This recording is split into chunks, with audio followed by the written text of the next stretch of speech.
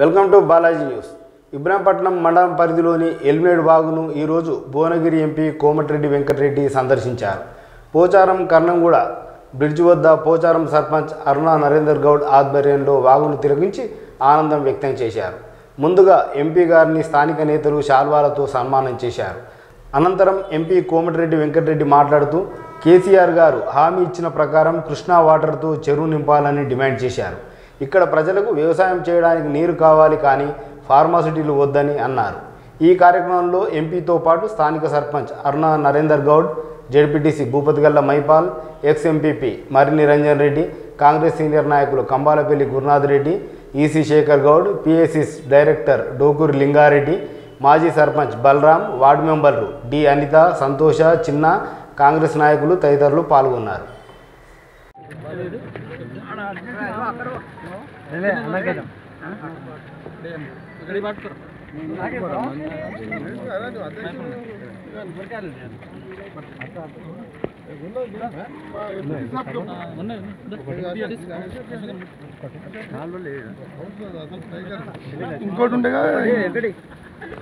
Open చేసి పెట్టరు ఒకరు? సర్పంచ్ సాబ్ దా. రే శివ ఇవి తీసి పెట్టు. నీ చే- నీ చేతిలో.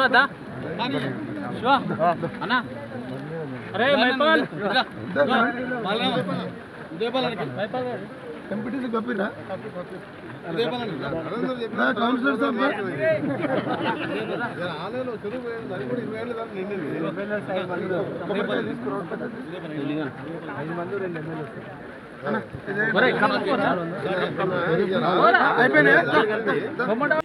నన్ను వెంటనే శాంక్షన్ చేయాలని ఆరు సంవత్సరాల కింద ముఖ్యమంత్రి గారు ప్రకటించారు. మరొకసారి రైతుల పక్షాన విజ్ఞప్తి చేస్తున్నాం. ఎందుకంటే మాకు ఈ చెరువు నింపితే ఈ చెరువుతో పాటు ఈ ప్రాంతం అంతా కూడా మంచిగా ఉంటుందని చెప్పి ముఖ్యంగా అది కూడా కృష్ణా నీళ్ళతో నింపితే ఇంకా మంచిది. గ్రౌండ్ వాటర్లో మీరు తాగే నీళ్ళు కూడా బోర్లు వేసుకున్న వాటర్ టేబుల్ పెరిగి త్వరగా నీళ్ళు పడే అవకాశం ఉంటుంది. మాకు ఫార్మాసిటీ కాదు మాకు ఇబ్రాహీంపట్నం చెరువు నిండానే ఆ తర్వాత ఆదిపట్లలాగా ఒక నాలుగైదు ఐటీ కంపెనీలు ఈ ప్రాంతానికి వస్తే మా పిల్లలకు చదువుకున్న పిల్లల ఉద్యోగాలు వస్తాయి. ఈ హైదరాబాద్ దగ్గర ఉన్న ప్రాంతాన్ని ఒక ఫార్మాసిటీ పేరు మీద వెయ్యి కంపెనీలు ఒక్కసారి పెడితే రేపు మా పోచారం ఊళ్ళో కూడా ఎవరు ఉండలేరు. ఎందుకంటే నేను చెప్తున్నా స్వయంగా నేను ఇరవై ఏళ్ళు ఎమ్మెల్యేగా మినిస్టర్గా చౌటుప్పల చిక్యాల పోచంపల్లి మండలాల్లో మంత్రిగా మినిస్టర్గా తిరిగితే ఏ ఊరికి పోయినా మా ఊరికి నీకు ఏం చేయొద్దు నీకు దండం పెడతా అని చెప్పి నన్ను మంత్రిగా ఉన్నప్పుడు ఊళ్ళలో తిరుగుకుంటే ఏడ్చేది వాళ్ళు. ఇప్పటికి కూడా నాకు పోచంపల్లికి పోవాలంటే భయం. ఎందుకంటే అక్కడ అన్ని నలభై యాభై కంపెనీలు ఉంటేనే ఒక అరవై ఊళ్ళల్లో పండుకోలేరు. కిటికీలు పెట్టుకుంటారు తల- కిటికీలు పెట్టుకుంటే అల్లకెళ్ళి వాసన అని చెప్పి బట్ట చుట్టి కిటికీలు పెడతారు ఊళ్ళల్లో పేదోళ్ళు. ఆ గుడిచెలలో ఉండే పరిస్థితి లేదు అందరికీ ఈరోజు ఇబ్రాహీంపట్నంకి పోయే పెద్ద చెరువుకి పోయే చెరువు నీళ్ళు వచ్చే క్రమంలో పోచారం గ్రామం దగ్గర స్థానిక సర్పంచ్ అరుణా నరేందర్ రెడ్డి గారి నాయకత్వంలో ఈరోజు ఎందుకంటే ఎన్నేళ్ళలో కళ ఇది. దాదాపు ఇరవై ఏళ్ళకి వెళ్ళి ఇప్పుడు చెరువు కూడా ని- పూర్తి స్థాయిలో నిండలేదు. ఈసారి నిండాలని ఆ వరుణదేవులు పూజ చేస్తూ ఇక్కడ కూడా పూజ చేయడం జరిగింది.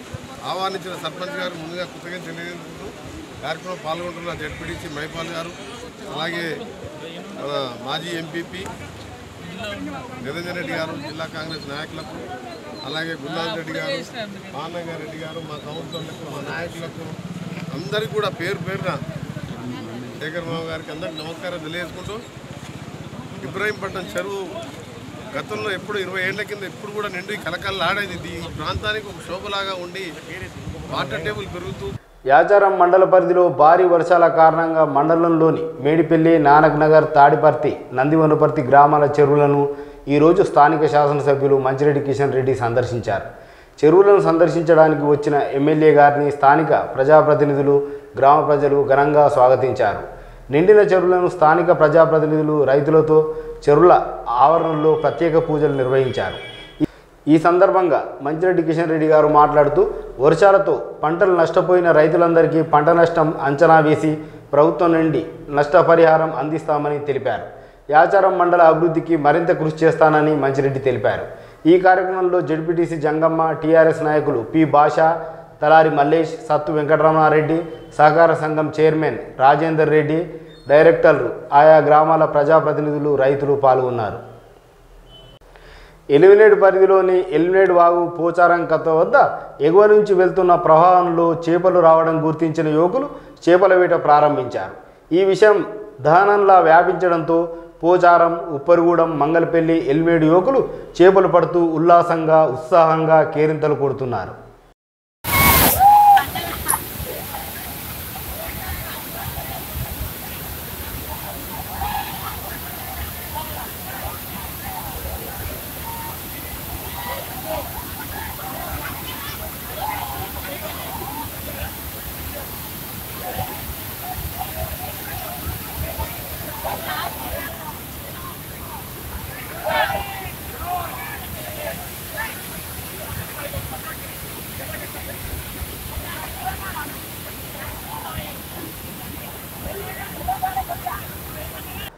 యాచారం మండల పర్యటనకు స్థానిక శాసనసభ్యులు మంచిరెడ్డి కిషన్ రెడ్డి వస్తున్న విషయం తెలుసుకున్న ఫార్మా భూబాధిత రైతులు ప్రతిపక్ష నాయకులు ఎమ్మెల్యే మంచిరెడ్డి పర్యటనను అడ్డుకోవడానికి ప్రయత్నించారు.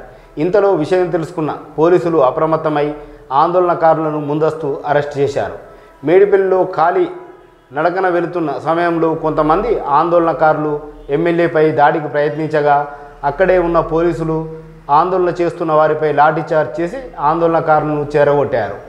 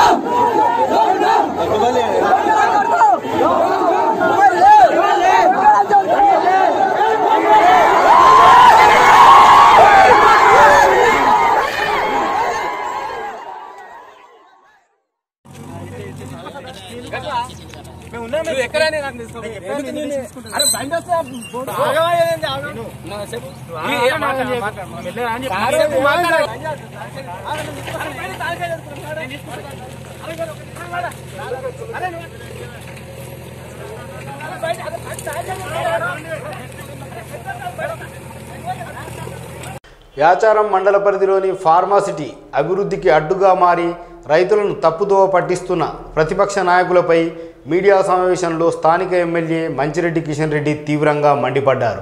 విలేకరుల సమావేశంలో విలేకరులు అడిగిన పలు ప్రశ్నలకు ఘాటుగా సమాధానం సంధించారు. దసరాకు ప్రారంభ శంకుస్థాపన జరుగుతుంది మంత్రి కేటీఆర్తో జరుగుతూ జరుగు ప్రచారం జరుగుతుంది. అంటారు. అది మీరే సృష్టించింది. ఉన్నటువంటి జిల్లాలో పోయి పక్కకు ఉన్నటువంటి వాళ్ళ భూములు కొనుక్కుంటే ఇవాళ పది రేట్లు పదిహేను రేట్లు పెరిగినటువంటి సందర్భం ఉంది. అది రైతులకు ఆలోచన లేదా? రైతులు వాళ్ళు ముందుకు పోతలేరా? రైతులు సాటిస్ఫై లేరా? ఇవాళ ఇంచుమించు ఇరవై ఎనిమిది నుంచి ముప్పై లక్షల రూపాయలు పర్ ఎకరా పడతా ఉంది. మరి వీళ్ళు అడిగేది ఇరవై లక్షలే అడిగారు కదా అన్నాడు. మరి ఇవాళ ముప్పై లక్షల దాకా వస్తున్నాయి. వద్దంటారా? తప్పుడు విధానాలు వద్దు. కోదన్ రెడ్డి గారు నీవు ఆలోచన తప్పు విధానాలు చేస్తున్నావు. మంచి పద్ధతి కాదు. ఏదో కొంపలు మునిగిపోయినట్టు నువ్వు ఆలోచనలు ముందుకు పోతా ఉన్నావు నీతోటి ఏమీ అయ్యేది కాదు సచ్చేది కాదు. అనవసరమైనది. ఏదో షో కోసమో నీ రోజుగార్ కోసమో లేకపోతే నిన్ను ఏదో ఆలోచన కోసమో లాస్ట్ మూమెంట్లను నువ్వు ఈ కార్యక్రమాలు చేయడం తప్పు. ప్రభుత్వం చేస్తుంది. సహకరించు. పది మందికి నువ్వు ఎంప్లాయ్మెంట్ పెంచు. చేపి. అదేవిధంగా రైతులకు ఏదైనా నష్టం జరిగితే దాని మీద నువ్వు వచ్చాయి కానీ వద్దనడం నీతోటి కాదు. నువ్వు అనకూడదు. నువ్వు చెప్పకూడదు అని చెప్పి కూడా హెచ్చరిస్తా ఉన్నా. ఇకపోతే ఆయన మాజీ అంటాడు. ఈ ఇబ్రాహీంపట్నానికి మాజీ కాడు ఆయన ఇప్పుడు కూడా ఓడిపోయిన మ- మనిషి. మూడు సార్లు నాతోటి ఓడిపోయినటువంటి వ్యక్తి. మూడు సార్లు. సిగ్గు లేకుండా మూడు సార్లు చీ కొట్టినా మళ్ళా పదే పదే మాటలు మాట్లాడుతూ ఉంటావు. నీతోటి ఏమైతుందని చెప్పేసి నీ ఫైనల్గా నేను ఒక్కటే హెచ్చరిస్తా ఉన్నా. నేను ఎక్కువ మాట్లాడదలుచుకోలేదు ఎన్నడూ కూడా మాట్లాడలేదు. నీ లైఫ్లో నీవు రాజకీయంగా నా దగ్గర నా కాన్స్టెన్సీలో చెల్లని గీతలని చెప్పి కూడా ఈ సందర్భంలో మనం చేస్తా ఉన్నాం.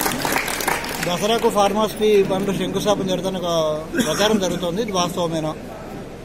తాటిపర్తి దగ్గర రెండు కంపెనీలు వస్తే ఎనిమిది వందల మంది పనిచేస్తా ఉన్నారు మహిళలు. వాళ్ళందరికీ నిత్య జీవితంలో వాళ్ళకు పని దొరకలేదా? అలాంటి కంపెనీలే వస్తాయి. అక్కడ ఉన్నటువంటిది జెడ్ఎల్డి అనేది జీరో లెవెల్ డిగ్రీకి సంబంధించినటువంటి ఛార్జ్ డిశ్చార్జ్ కాకుండా ఎలాంటి ఇబ్బంది లేకుండా వస్తున్నాయి కాబట్టి పొల్యూషన్ లేకుండా ఉన్నటువంటి పరిస్థితుల్లోనే ఈ ఫార్మాసిటీ వస్తుంది కాబట్టి అందరికీ న్యాయం జరుగుతుంది. భవిష్యత్ పిల్లలు చూడండి. ఒక ఇరవై ఏళ్ళ తర్వాత మన ఏరియా ఏ పరిస్థితిలో ఉందో ఒక్కసారి ఆలోచన చేయాలని చెప్పేసి కూడా ఈ సందర్భంలో మనం చేస్తాం రైతుల సమస్యలు మీ దృష్టికి తీసుకురావడానికి ప్రయత్నిస్తే తనను అక్రమంగా అరెస్ట్ చేయించారని కోదండ రెడ్డి ఆరోపిస్తున్నారు. రైతుల సమస్యలు మీ దృష్టికి తీసి మీరు చర్చించాలనుకున్నాను. ఎమ్మెల్యే గారితో నేను చర్చించాలనుకున్నాను రైతుల సమస్యలను. తను అక్రమంగా పోలీసులు ఆయన పోలీసు ఇప్పటికే నాలుగు సార్లు పోయిండు. ఏం చెప్తున్నాడండి? నా కాన్స్టెన్సీ కాదా? నా ఆలోచన కాదా? నేను రైతులకు న్యాయం చేయలేదా? పన్నెండు లక్షలు ఉంటే దాన్ని పదహారు లక్షలు చేయించలేదా లేకపోతే అక్కడ ఒక ఇంటి జాగా ఇప్పిస్తూ అది చేయలేదా? జాబ్ అనేది అష్యూరెన్స్ అవార్డు పాస్ చేసిన దాంట్లోనే మెన్షన్ చేయడం జరుగుతూ ఉంది. ఇవన్నీ కూడా చేసినప్పుడు నీకు నీ భూమి ఉందా? లేకపోతే నువ్వు ఏ ఊ- ఈ ఊర్లకు నువ్వు ఏం సాయం చేసినావని గతంలో? ఎందుకు నువ్వు అనవసరమైనటువంటి డిస్టర్బ్ చేస్తా ఉన్నావు? లేదా ఎవడన్నా ఏమన్నా నిన్ను ఆలోచన చేసి ఏమైనా చేస్తారనుకుంటున్నావా? ఎవ్వరు ఏమి చెయ్యరు. ఏది అనవసరమైనటువంటి ఆలోచనలు చెప్పడము తప్పుడు ప్రచారం చేయడము మంచి పద్ధతి కాదు. మీడియా మిత్రులను కూడా నేను కోరుకుంటున్నా వాస్తవాలు ఏముందో మీరు చూడాలి వాస్తవాలు ఏముందో అవి ప్రచారం చేయాలి కానీ అనవసరమైన ప్రచారం చేయొద్దని చెప్పేసి కూడా నేను తెలియజేస్తా ఉన్నా. ఇవాళ ఇవాళ మేడిపల్లిలో ఉన్నటువంటి వాళ్ళు కానీ అదే విధంగా నానకలలో ఉన్న రైతులను నేను కోరుతా ఉన్నా. అనవసరమైన ఆలోచనలు తప్పుడు విధానాలు ఏవైతే దుష్ప్రచారాలు చేస్తున్నారో బీజేపీ వాళ్ళు కానీ కాంగ్రెస్ వాళ్ళు కానీ మీరు నమ్మొద్దని చెప్పేసి కూడా ఈ సందర్భంలో మనం చేస్తా ఉన్నా. వాస్తవానికి ఇవాళ డబ్బులు తీసుకున్నటువంటి రైతులే ఆందోళన ఆ చేయడం సమంజసమని నేను అడుగుతా ఉన్నా. డెబ్బై పర్సెంట్ వరకు రైతులు మరి భూముల యొక్క ల్యాండ్ అక్విజేషన్లో కానీ అదే విధంగా పట్టేదారులు కానీ మొత్తం టోటల్గా డబ్బులు కూడా వాళ్ళ అకౌంట్లలో పడిపోయినాయి. ఇవాళ ఐదు వందల నుంచి ఆరు వందల కోట్ల రూపాయలు ఈ యొక్క ఆ ఎనిమిది గ్రామాల్లో డబ్బులు ఇవ్వడం కూడా జరిగింది. కొంత ముప్పై పర్సెంట్లో కోర్టుకు పోయారు కాబట్టి అవి ఆగిపోయినాయి. ఆ కోర్టులో ఉన్నటువంటి వాళ్ళకు కూడా అవార్డు పాస్ చేశారు కాబట్టి నేనే చెప్తా ఉన్నా వద్దు. వాళ్ళకు అన్యాయం జరుగుతుంది రైతులకు. ఏడున్నర లక్షలే వస్తాయి. నిర్ణయం ప్రకారంగా అయితే కాన్సెంట్ ఇస్తే పదహారు లక్షలు వస్తాయి కాబట్టి కొన్ని రోజులు ఆగండి సార్ అని చెప్పేసి కూడా అధికారులు నేను చెప్తా ఉన్నా. కానీ వాళ్ళ ఆలోచన తప్పుడు విధానాలు తప్పుడు సంకేతాలు వాళ్ళు ఇస్తున్నారు కాబట్టి రైతులు కూడా ఇబ్బంది పడే పరిస్థితికి వచ్చిందని చెప్పి నేను తెలియజేస్తా ఉన్నా. దాన్ని కూడా మనం చెప్పడం జరుగుతూ ఉంది. ఇవాళ నేను చౌరస్తా నానక్ చౌరస్తాలో నానక్ నగర్ చౌరస్తాలో కూడా కూర్చొని మీడియాతోటి కూడా చెప్పడం జరిగింది మిత్రులతో కూడా చెప్పడం జరిగింది. ఇది వాస్తవం. అనవసరమైనటువంటి ఆలోచనలు పెద్ద ఎత్తున ఇవాళ ఫార్మాసిటీ రావడం జరుగుతుంది ఎంప్లాయ్మెంట్ పెరుగుతుంది. ఏదైతే భూములు కోల్పోయిన రైతులు ఎవరైతే ఉన్నారో వాళ్ళకు ఒక్కొక్క గుంట భూమి అంటే నూట ఇరవై గజాలు అక్కడ ఉన్నటువంటి ఫార్మాసిటీ దగ్గర పెద్ద ఎత్తున లేఅవుట్ చేసి వాళ్ళకు ఇవాళ పన్నెండు లక్షల రూపాయల విలువైనటువంటి ఒక గుంట భూమిని ఇవ్వడం కూడా జరుగుతుందని చెప్పి కూడా నేను తెలియజేస్తా ఉన్నా. అదేవిధంగా ఇంటికి ఒక జాబ్ కూడా ఇవ్వాలని ఇబ్రాహీంపట్నం నియోజకవర్గం మంచాల మండలం ఎల్లమతండ గ్రామంలో గల గాడివంపు వాగు నిర్మించడంలో ఎమ్మెల్యే మంచిరెడ్డి కిషన్ రెడ్డి పూర్తిగా విఫలమయ్యారని తెలంగాణ యంగ్ లీడర్స్ రాష్ట్ర కార్యనిర్వాహక కార్యదర్శి దేవరాం నాయక్ సభాభట్ విమర్శించారు. ఈ సందర్భంగా దేవరాం నాయక్ మాట్లాడుతూ నలభై ఐదు సంవత్సరాల గిరిజనుల చిరకాల స్వప్నం కలగానే మిగిలిందని వాపోయారు. ఇక్కడ మూడు పర్యాయాలు. ఎమ్మెల్యేగా గెలుపొందిన మంచిరెడ్డి కిషన్ రెడ్డి ఇక్కడ ఉన్న బీడు భూములను సాగులోకి తేవాలన్న సోయి కూడా లేదని వాపోయారు. కానీ నియోజకవర్గంలో లక్ష ఎకరాలకు సాగునీరు అందిస్తామని చెప్పడం విడ్డూరంగా ఉందని వాపోయారు. ఇప్పటికైనా మూడు వేల ఎకరాలు ఐదు వేల మంది రైతులు పన్నెండు వేల గిరిజన కుటుంబాలకు ఆధారమైన గాడివంపు వాగు నిర్మించి రైతులను ఆదుకోవాలని కోరారు. తెలంగాణ రాష్ట్రంలో ప్రాజెక్టులు ఎన్నో కడుపు కడుతున్నామని చెప్తున్నటువంటి తెలంగాణ రాష్ట్ర ప్రభుత్వానికి మేము ఇబ్రాహీంపట్నం నియోజకవర్గం నుండి తెలంగాణ యంగ్ లీడర్స్ ద్వారా ఒకటే డిమాండ్ చేస్తున్నాం. మీ కంటికి గాడివంపు వాగు కనిపి కనిపించడం లేదా? మీ కంటికి గాడివంపు వాగు కనిపించడం లేదా అని చెప్పేసి ఈ సందర్భంగా తెలియజేస్తున్నాం. ఇక్కడ ఉన్నటువంటి ఏదైతే ఎమ్మెల్యే గారు ఉన్నారో నాలుగు కోట్ల నిధులను మూడు కోట్ల తొంభై రెండు లక్షల దాదాపు అంటే నాలుగు కోట్ల నిధులను శాంక్షన్ చేస్తున్నామని చెప్పేసి ప్రతి సంవత్సరం పేపర్లలో ప్రకటనలు ఇచ్చుకోవడం కానీ ఆ ప్రకటనలు ఇచ్చుకున్న తర్వాత ఆ నిధులు మరి ఎక్కడ ఖర్చు పెడుతున్నారనేది కూడా చెప్పాల్సినటువంటి అవసరం ఈ ఎమ్మెల్యేకు ఉంది. మరి ఇక్కడ ఉన్నటువంటి ఏదైతే ఎల్లమ్మ తండ నుంచి లోయపల్లి కుదాస్పల్లి వరకు అంతా గిరిజన ప్ర గిరిజన ప్రజలు ఇక్కడ నుంచి దాదాపు పన్నెండు నుంచి పదిహేను వేల మంది నివాసం ఉంటున్నారు. మరి ఇక్కడ ఉన్నటువంటి గిరిజనులు బతుకులు మారాలంటే ఇక్కడ గాడివంపు వాగు నిర్మాణం జరగాల్సినటువంటి అవసరం ఉంది. ఏదైతే బీడు భూములు ఉన్నాయో వాటిని సాగులోకి తెచ్చేటువంటి పరిష్కారం దిశగా ఈ గాడివంపు వాగును నిర్మించాలని చెప్పేసి మేము తెలంగాణ యంగ్ లీడర్స్ తరపు నుంచి డిమాండ్ చేస్తున్నాం. ఈ గిరిజనుల మీద మీరు చూపి చూపిస్తున్నటువంటి ఈ కక్షను మేము ఖచ్చితంగా గమనిస్తూనే ఉన్నాం. కాబట్టి మీరందరూ కూడా అధికారులు ఎన్నోసార్లు వచ్చారు ఇక్కడికి. ఎన్నోసార్లు అధికారులు రావడం వాళ్ళు ఇక్కడ చూసిపోవడం కానీ మరుసటి రోజు పేపర్లలో ప్రకటనలు ఇవ్వడం. మేము గత రెండు పన్నెండు రెండు వేల పన్నెండు సంవత్సరం నుంచి నేను పర్టికులర్గా నవ సమాజ నిర్మాణ అసోసియేషన్ ద్వారా గత తొమ్మిది సంవత్సరాల నుండి ఎంతోమంది అధికారులను ఎంతోమంది ప్రజాప్రతినిధులను ఎంతమంది ఇక్కడ అధికారులు వస్తే అంతమందికి కూడా వినతి పత్రాలు ఇచ్చినాం. మాకు ఈ ప్రాజెక్టు అవసరం. ఈ ప్రాజెక్టు ద్వారా మా మా పరిసర ప్రాంతాల్లో ఉన్నటువంటి సా- బీడు భూములను సాగులోకి తెచ్చుకోవచ్చు. మాకు భూగ భూగర్భ జలాలు పెరిగేటువంటి అవకాశం ఉంటుంది. ఇన్ని ఉన్నా కానీ ఇక్కడ అధికారులు కానీ ప్రజాప్రతినిధులు కానీ పట్టించుకోకపోవడం విడ్డూరం. కాబట్టి తెలంగాణ యంగ్ లీడర్స్ తరపు నుంచి మేము ఒకటే డిమాండ్ చేస్తున్నాం. నిజంగా చీము నెత్తురున్నటువంటి ఎవరైనా కానివ్వండి అధికారి కానివ్వండి ప్రజాప్రతినిధులు కానివ్వండి నిజంగా స్థానిక ఎమ్మెల్యేకి కూడా నేను సూటిగా ప్రశ్నిస్తున్నా. ఏదైతే ఇక్కడ ఉన్నటువంటి గిరిజనుల యొక్క బతుకులు మారితే మీరు బతు అంటే ఇక్కడ ఉన్నటువంటి గిరిజనులు బాగుపడితే మీరు నిజంగా కక్ష సాధింపు చర్యలేక ఇక్కడ ఉన్నటువంటి ప్రజలను ని- నిజంగా చూసి చూడనట్టు వ్యవహరిస్తున్నటువంటి పరిస్థితి ఉంది. ఇప్పటికి ఎమ్మెల్యే గారు మూడో మూడోసారి గెలిచి కూడా ఇక్కడ రెండు సంవత్సరాలు నడుస్తున్నా ఈ ప్రాంతంలో అడుగుపెట్టినటువంటి పరిస్థితి ఉందంటే మీరు ఒకసారి ఆలోచన చేయండి. ఇక్కడ ఉన్నటువంటి స్థానిక ఎమ్మెల్యే గారు ప్రత్యేకంగా ఎప్పటికైనా ఇప్పటికైనా స్పంద